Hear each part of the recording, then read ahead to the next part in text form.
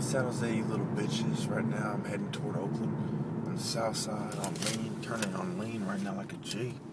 You know, that's what I do. You know, all these crybabies, all these cowards, they talk about this and that and this and that. But I'm in, you know, a nigga is in the motherfucking hood all fucking day, all day fucking long. You know what I'm saying?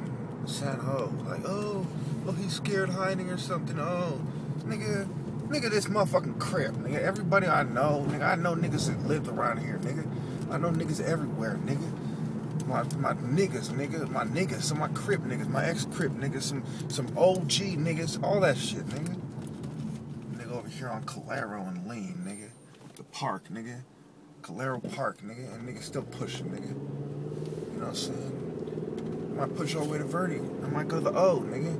Niggas know me around this motherfucker. The skull, nigga. I'm good, nigga. What, nigga?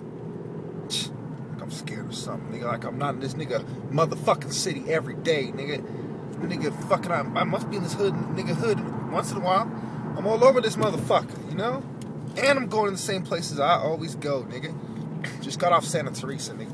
If you want to find a nigga, I'll be on Santa Teresa, motherfucking, pretty much every day. So quit playing crib.